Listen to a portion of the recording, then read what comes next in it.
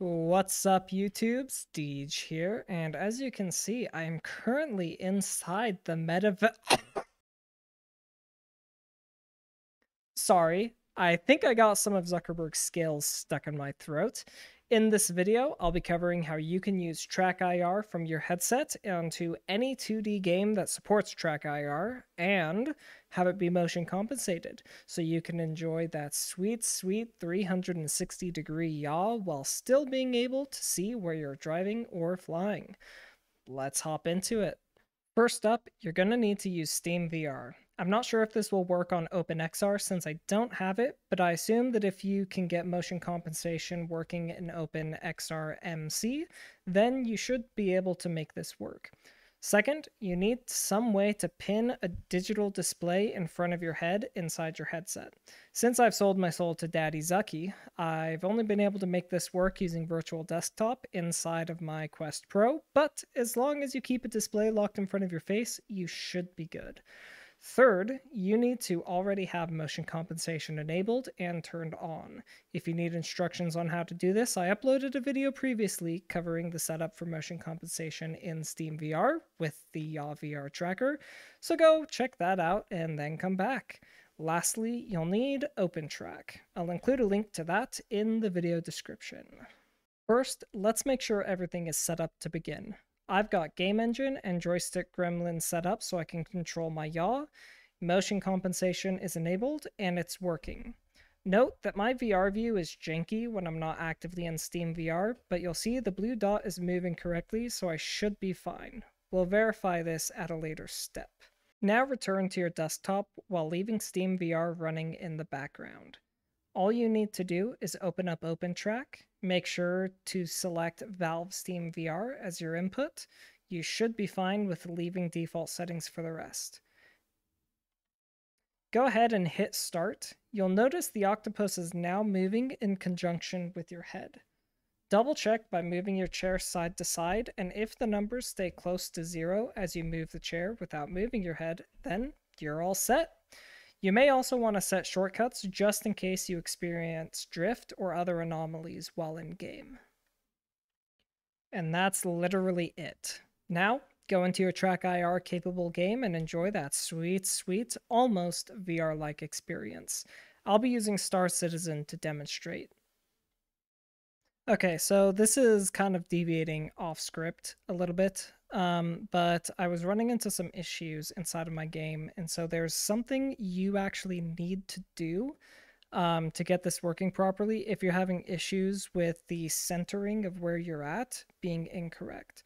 So what you need to do is go ahead and with um, Steam VR and everything running, go into local disk C, program files, open VR motion compensation, and run the start desktop mode.bat file. This just makes it easier while in desktop mode to enable and disable motion compensation. So what I had to do, and it's a little bit finicky, I'm not actually even 100% sure how it works, is you need to go into the motion compensation area inside of the game engine and you need to calibrate while you're outside of Steam VR. So then once you do the calibration and it finishes, you'll need to go back inside of Steam VR. So let me come back in here. And you'll see right now, I'm offset incorrectly. And that's actually okay because the position of my headset is different when I am outside of Steam VR. See, like right now, I'm moving my mouse and when I go back into Steam VR. So what you need to do after you run the calibration is you just need to recenter your view. Now, it's okay if this is off to the side, again, because once I leave the, heads, the headset view, I'm now centered right here. So if we go into track IR here and click Start, you'll see that my yaw, pitch, roll, everything is not working currently.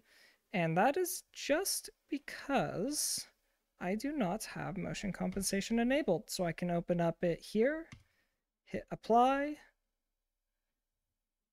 And now if we start, right, I'm starting here in the negative because I need to recenter, I think. What's my recenter? That. Yep. So I've recentered myself. So we're here, and as I move around, see we return back mostly to zero. Now, one interesting thing to see is that blue line, it's moving faster than my view actually is. That's just something janky about how this is running, but I think that this tracking should work just fine in game. So I am going to go ahead and launch Star Citizen now. Okay, so we are now inside of Arena Commander. And I am going to just fly out of here just a little bit, like so. And now you'll see I do have um, track IR working at the moment. And if I start spinning around, you'll notice I am mostly centered. Now, this is okay. Um, there's going to be just a little bit of drift, and that's all right. You'll see if I lean back. Wahoo! If I do some of this. We've got track IR and everything else working flawlessly. So I'm able to fly around and keep looking as I pass by and into things, and I'm not used to that at all, so I crashed. But that's okay. And again, if you ever... Oh, ah, that's great. So, yep. Anyways, um, this is pretty much how you can get Track IR working while inside of a game like this. So.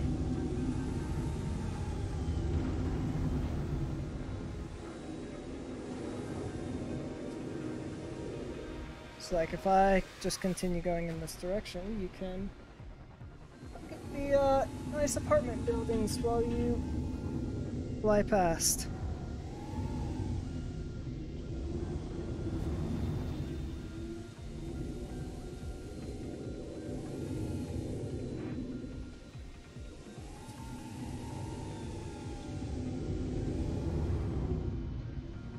All right. That was fun, right?